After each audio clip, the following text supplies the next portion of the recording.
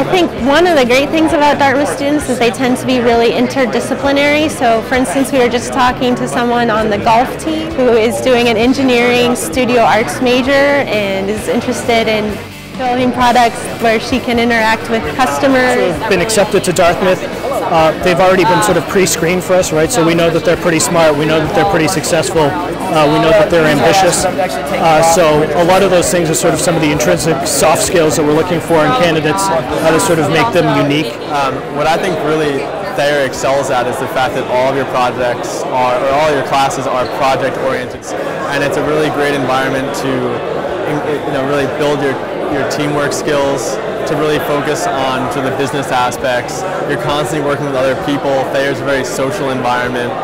It's really a tight-knit crowd that I found you know, in common to both what I do now and what I found at Thayer. With the Dartmouth students, we like the five-year program here they have at Dartmouth. They get their um, bachelor's degree first and they go into a specialization in the fifth year.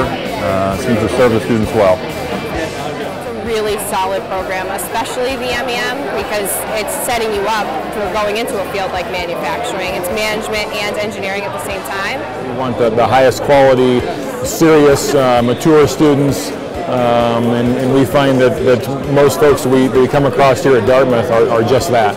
I think Dartmouth produces engineers who can actually get up in front of people and communicate technical ideas effectively. Um, having recruited at lots of other engineering schools, I think that's a, a rarity. Um, I think also having engineers who um, want to do engineering not just for its own sake, but actually have some positive influences on a broader industry around the world.